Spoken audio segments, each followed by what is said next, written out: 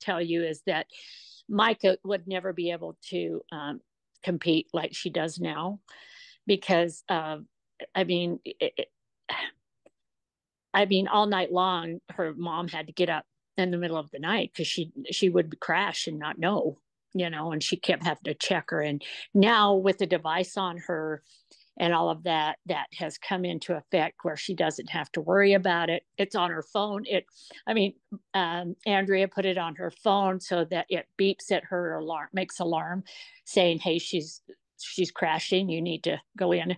And so all of those type of things has helped, you know, um, her mother obviously and also when she's at school she can see when Micah is not eating right you know or different things because she had, would have to remind her you you got to go eat something now.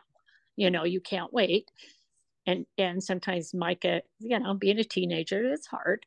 And uh so things like that i think are pretty amazing and now she can wear the pump where you can't see it. And micah feels like she has so much more freedom now